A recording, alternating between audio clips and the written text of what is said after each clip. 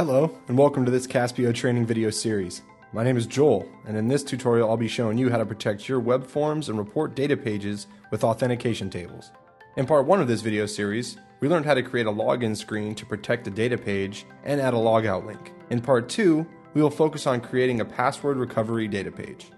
We're starting from the Caspio home screen here, and we're looking to uh, add on a little bit to what we created in the previous video. We've all been there. Uh, you forget a password. You'll notice that there is nothing here for anybody who'd lost their password uh, to get it back on their own. So what we're going to do is we're going to create a link down here at the bottom for people that have lost their password. So first things first, we'll go into automatically get that back.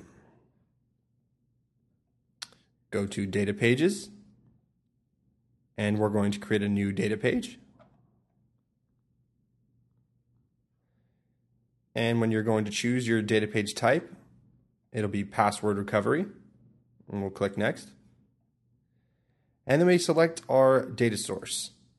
So if you remember, our uh, authentication table that we made in the previous video was called new auth table. So we'll choose that. And you can change the name here. We'll just call it password recovery. And we're good. And we want to make sure we don't restrict the access on this. We want this to be a public facing data page so that people can get their passwords back. So go next.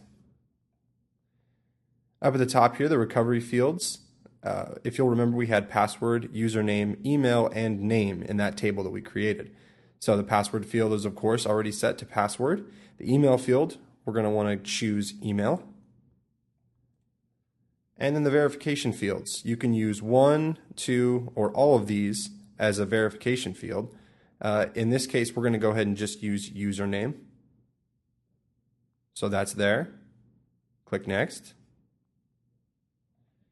Now here we can change the name of our field, but that works for now.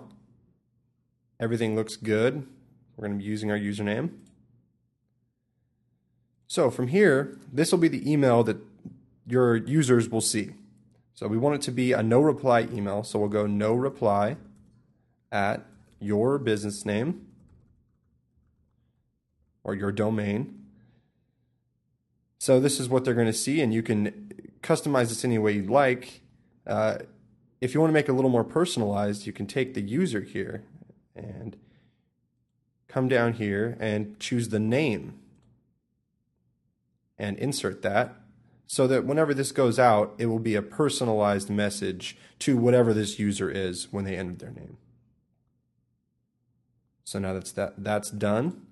Go next, and here you can then uh, look at the actual destination if it failed or if it was successful, and you can change and you customize the messages here as well.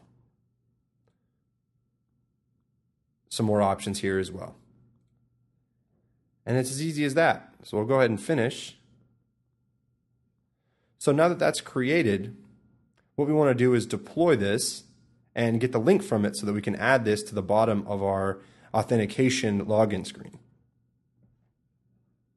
So we'll enable it. And we're going to do a URL that comes straight from the Caspio servers on this one. Take the link and close. Now we have to go back to our authentications and add this into the footer. So we'll go to our authentication, edit. Go ahead and go to the footer. Now I have uh, some code ready here. So we'll take that. And all I'm doing here is just taking the link that we just we just got from the deployed uh, data page that we created. And I added it into an href, which is just a simple link code with the text forgot your password underneath. And then added just some simple styling. So that's done. We'll go ahead and save it. Now it's saved. So now we can take a look and See how everything worked out. This was before and after. So now, if you forget your password or your users forget their passwords, they can then simply add their username in and reset password, and it'll be emailed to them. That concludes part two of this video series. Please continue on to part three to learn more about authenticating data. For additional videos and training material, please visit howto.caspio.com. Thanks for watching.